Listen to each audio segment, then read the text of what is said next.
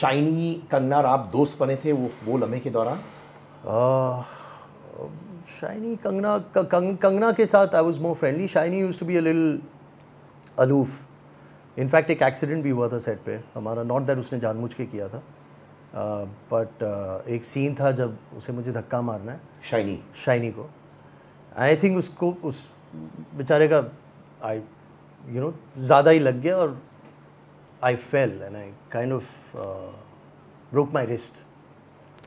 So he really came, he apologized, and uh, I said, It's okay.